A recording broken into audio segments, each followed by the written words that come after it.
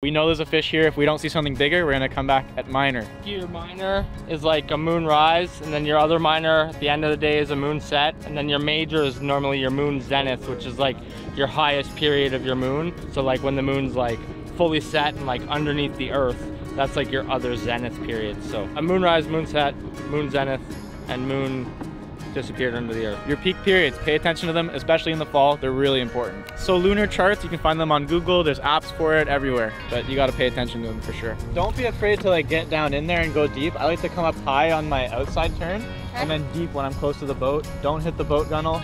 You don't always have to do an eight. You can do an oval like this. You can give it twitches. They're not afraid of your rod. If a fish wants to eat, there's not much you can do wrong.